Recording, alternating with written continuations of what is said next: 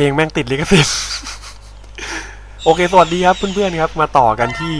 Zero Story Part 2 นะครับ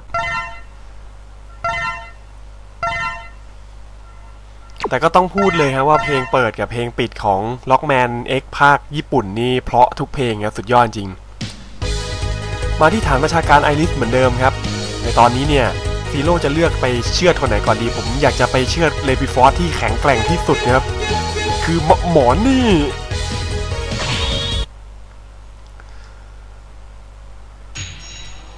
นั่นก็คือเลปิฟอร์บ้าพลังนะที่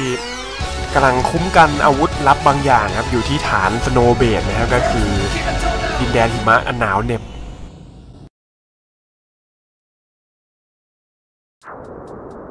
นี่ครับเหมือนเดิมครับคือโผล่มาเนี่ยจะเห็นเพื่อนเราเนี่ยโดนแช่แข็งตายกันเป็นเบือครับด้วยฝีมือของไอ้เจ้านั่นนะอุ้ยเหรอดังนั้นเดี๋ยวเราต้องไปลองของซะหน่อยครับ ตรงจุดนี้ครับข้างบนนี้มี life up ซ่อนอยู่ครับเราสามารถใช้ดาบมังกรเพลิงครับเสยขึ้นไปเพื่อละลายน้ำแข็งได้ครับ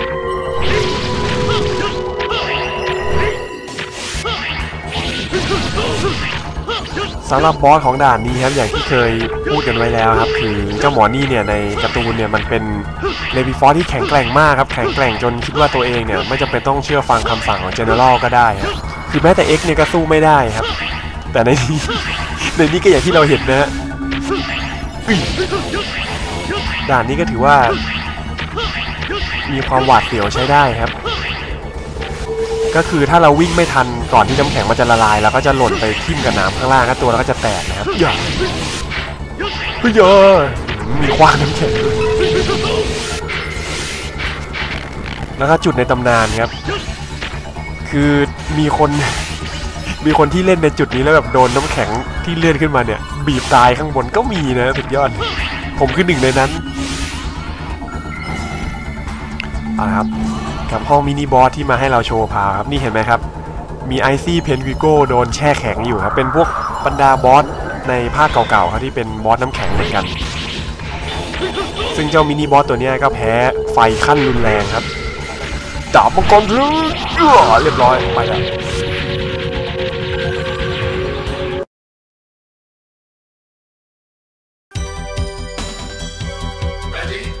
มาลุยต่อเลยครับ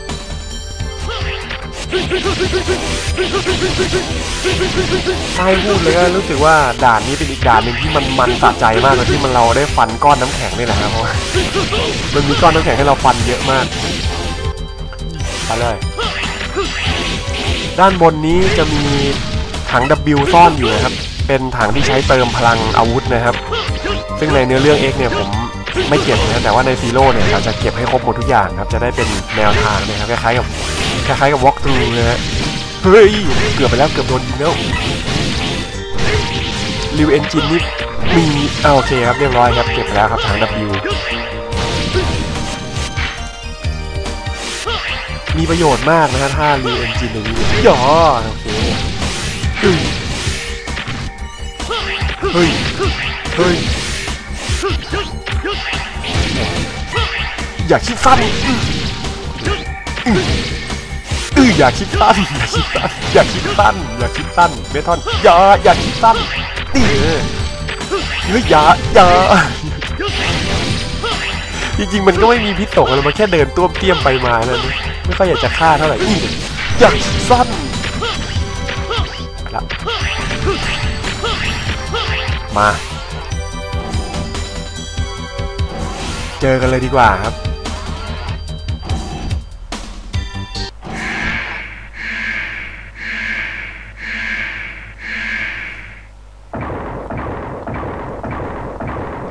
อืมเป็นตัว walrus นะครับ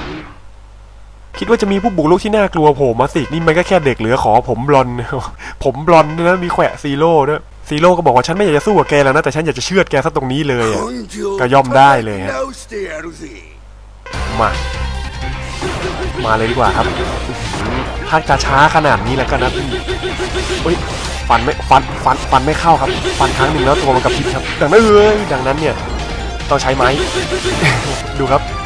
เราฟันฟันไม่เข้าครับฟันแล้วตัวมันกระพริบครับทำให้เข้าแค่ครั้งเดียวครับนะฮะไอหมอนี่นี่กระแกรงสงสัยต้องใช้ดาบมังกรเพลิงกับมันซะแล้วครับ อะไรวะ พอใช้ปุ๊บเนี่ย น้ำแข็งบนตัวมันจะละลายหมดเลยนะเห็นไหมฮะ เฮ้ย โอ้โห อันนี้ไม่เข้าเฮ้ยาอือยังไงวะ ยังไงวะ ยังไงวะยืนบื้อ ยืนบื้อ ยืนบื้อ ยืนบื้อยังไงอย่ายังไงวะ ยังไงวะ ฟันไม่เข้าจริงๆครับ ไม่เชื่อดูฟันเลย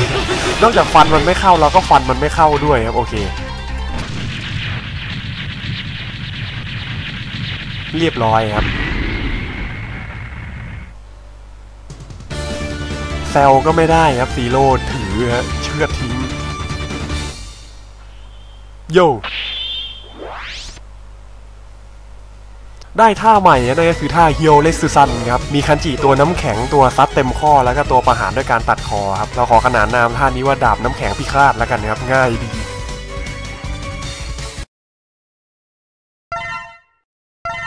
หรือถ้าเพื่อนๆนึกชื่อไหนออกก็ลองคอมเมนต์มาดูนะ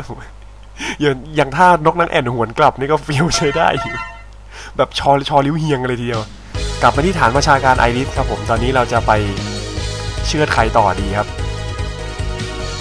ขอลองไล่ดูหน่อยเอาตัวง่ายๆ ไปไว้หลังๆเลยฮะน่าเบื่อ นี่เลยดีกว่าครับ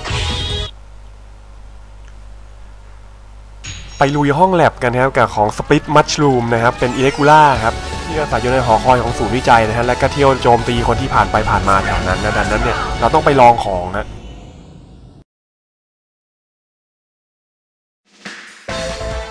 มาคราวนี้ฉันผ่านมาที่นี่แล้วมาโจมตีฉันเซ่มาเอ้ยอะฟันไม่เข้านี่อีอีโอเคย่าย่าย่า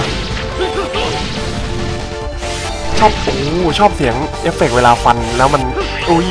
ชอบเสียงเอฟเฟกเวลาฟันแล้วเสียชีวิตแล้วเสียงจะดังเจืดแล้วก็บลึมใช้ได้เลยครับ คือถ้าจำไม่ผิดนะฮะในเวอร์ชั่นภาษาอังกฤษเนี่ย เสียงของซีโร่ท่าฟัน เอ้ยอะท่าฟันมันจะเวลาท่าฟันเสียงมันจะไม่เท่เท่าของเวอร์ชันภาษาญี่ปุ่นนะแถมเสียงกระโดดเวอร์ชันภาษาญี่ปุ่นเนี่ย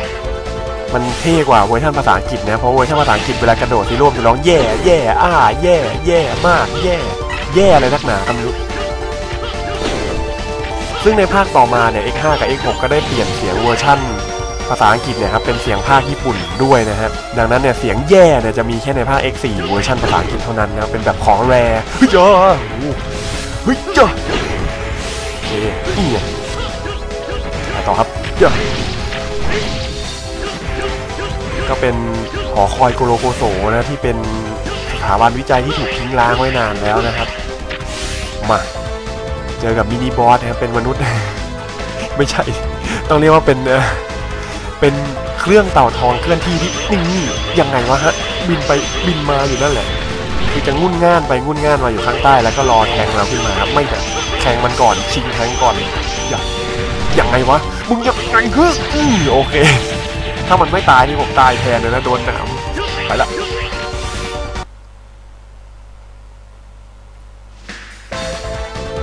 เข้ามาส่วนชั้นในเลยครับ ก็ส่วนชั้นในนั่นแหละครับอื้อโอเคปล่อยมันข้ามหัวเราไปครับดีมากอย่าเดี๋ยวนะนั่นแหละดีดีมากเฮ้ยอย่าเฮ้ยอย่างเงี้ยไอตัวไล่หลังหมั่นไส้มากคราวที่แล้วโอเคไล่ดีนะโอเคนั่นแหละครับบอกอันเนี่ยมีกลิ้งแล้วมีหยุดด้วยโอเคหมดแล้วล่ะมาเลย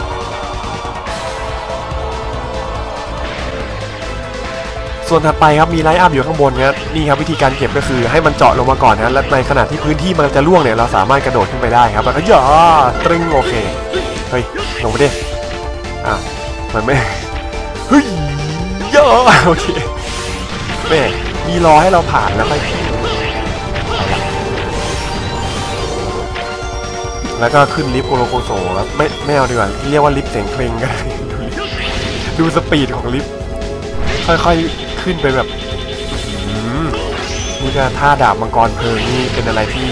มันฟันแช่แบบว่ายังไงก็ยังไงก็จะฟันให้เข้าให้ได้ครับคิดดูครับอย่าเฮ้ยมีแถมด้วยอีกโยย่าสะใจมากเฮ้ยเฮ้ยเฮ้ยเฮ้ยอะไรวะอะไรวะมันจะยิงรัวอะไรขนาดนั้นไปแล้วนี่ก็เป็นจุดเสียวเล่นนะฮะที่ ให้เราลุ้นกันนิดนิดหน่อยแต่จริงๆมันไม่ถึงขนาดนั้นหรอกครับ ใครมันจะไปช้าขนาดว่าโดนบดตายตรงนี้ย่อโอ้โหฟันแช่ซะจนแบบ ยังไงก็ต้องเอ้ยเกือบไปแล้ว ไปละ ไม่รอละรีบช้า แล้วก็นี่ครับผมบอสสปริตมัชลูมนะครับ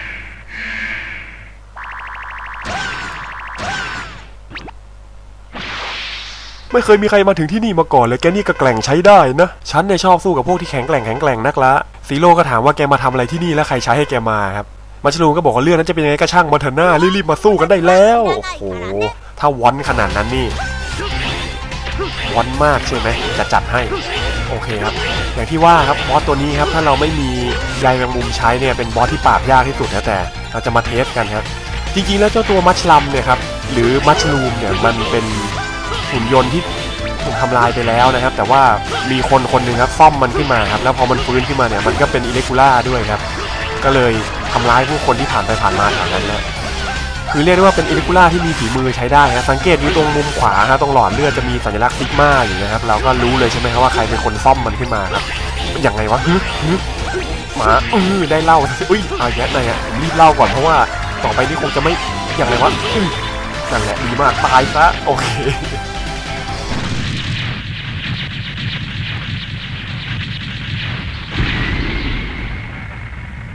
อยากสู้ดีนักใช่ไหม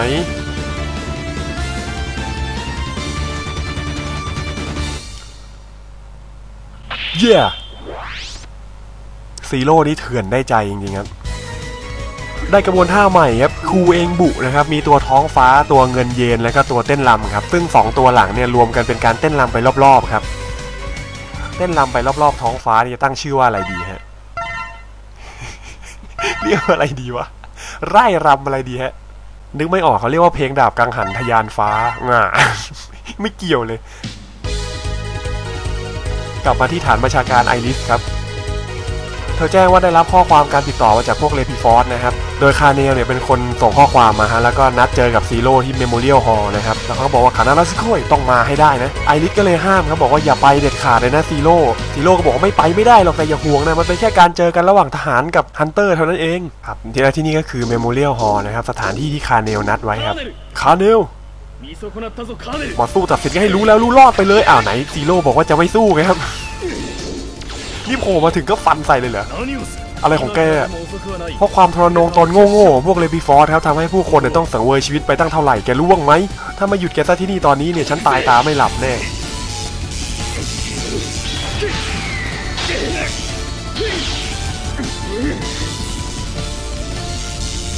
ก็คือในตอนนี้เนี่ย Repliforce เนี่ยหลังจากที่โดนกล่าวหาเนี่ยแล้วพวกเขาก่อการปฏิวัติเนี่ยครับก็ทำให้มีผู้คนเนี่ยบาดเจ็บล้มตายเพราะฝีมือของพวก Repliforce กันมากมายครับอะ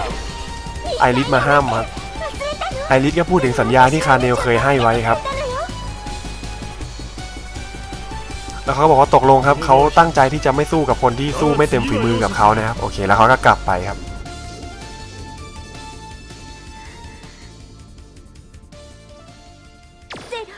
แล้วไอริสเนี่ยก็ขอร้องซีโร่ครับว่าอย่าสู้กับพี่ชายของเขาอีกเลยครับ ไม่ว่าใครจะเป็นฝ่ายชนะเนี่ยมันก็ไม่ส่งผลดีทั้งนั้นครับ แต่ซีโร่ก็บอกว่าสถานการณ์ในตอนนี้เนี่ยมันเลวร้ายเกินกว่าที่จะจบเรื่องง่ายๆ แค่นี้แล้วล่ะครับ แล้วซีโร่ก็จากไปครับเซบูชิน่ายังไม่ save ครับเพราะเพิ่งผ่านมาแป๊บเดียวกลับมาที่ฐานบัญชาการไอริสต่อนะแล้วไอริสก็กลับมาเป็น navigator นำทางให้ต่อเนี่ยนะเจริญนะไปที่เอ่อไหนๆก็ไหนๆนะครับ ขอไปกำลังคิดอยู่ จะไปเชือด Repliforce ให้หมดเลยดีไหมฮะ ไม่เอาดีกว่าครับ ไปฆ่าพวกเอเลกูล่าให้หมดก่อนดีกว่า นี่ครับอิเลกูล่าตัวสุดท้ายนะคือ Cyber Kujacker นะครับผม โดยเจ้าหมอนี่เนี่ยเป็นโปรแกรม AI นะที่ติดไวรัสกลายเป็นอิเลกูล่าแล้วก็อาละวาดอยู่ใน cyberspace ครับ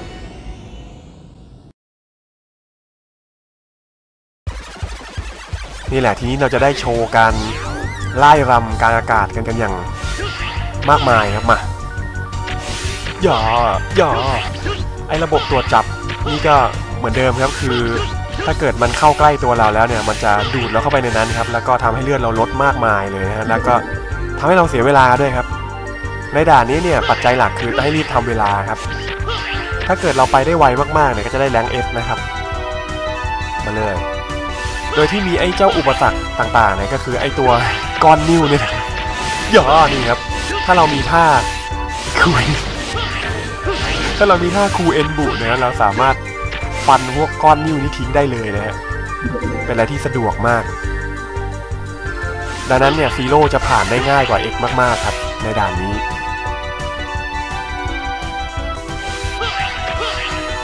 เพราะว่าเพียงแค่ใช้กระบวนท่าก็ผ่านแล้วนี่ไป โยยะ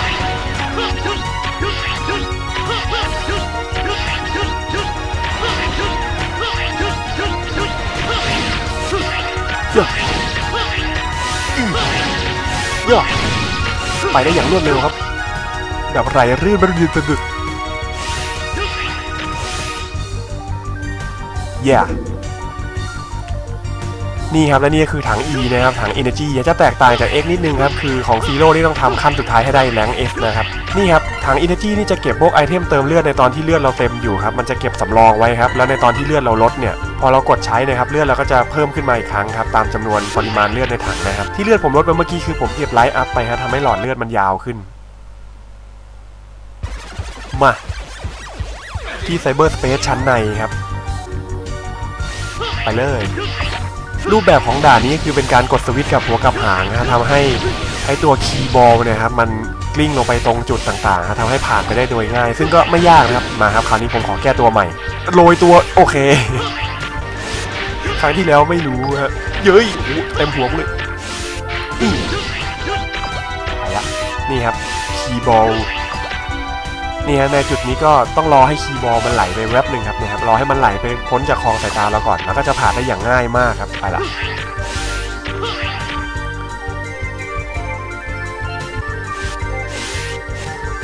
มาจัดการกับ AI ก่อนเลยดีกว่า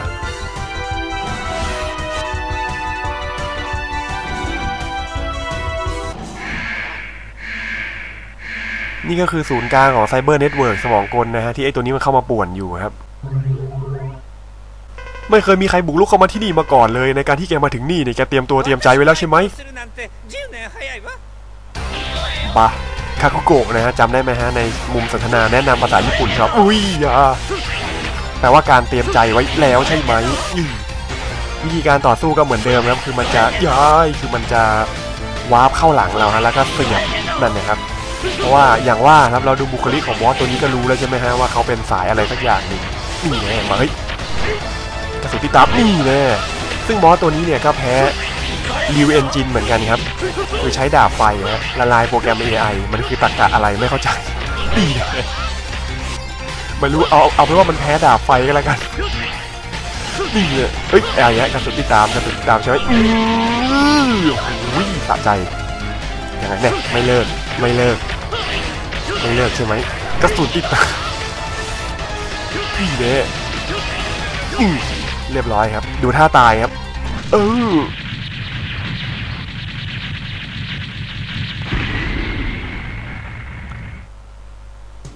จัดการระบบ AI เรียบร้อยทีนี้เน็ตแล้วก็กลับมาใช้งานได้ตามปกติครับ และซีโร่ก็ทำท่าทักทายแบบสุภาพครับผม ชิง โอเค ได้กระบวนท่าใหม่ครับ นั่นก็คือ落鳳破ครับผม มีคันจิตัวร่วงหล่นตัวนกฟินิกและก็ตัวทางลาดครับ มันคือยังไงวะ หงสาถลาลมทำไมแต่ละชื่อที่คิดขึ้นมานี่แม่งไม่ดีเพื่อนๆนึกอะไรออกลองบอกมากันหน่อยก็ได้นะครับโอเคครับ save ก่อนแล้วก็พักหายใจหายคอกันก่อนครับ ไว้เดี๋ยวจะมาต่อกันใหม่นะครับ ตอนนี้ก็ กลับมาที่ฐานบัญชาการไอริสนะครับ ตอนนี้เนี่ยเหลือแค่เฉพาะหัวหน้า Repliforce ทั้งหมด 3 คนนะครับ เป็น Repliforce ล้วนๆเลยครับเดี๋ยว part หน้าจะเชือดให้เกลี้ยงเลยครับ โอเคครับ ไว้มาเจอกันใหม่นะครับผม สวัสดีครับ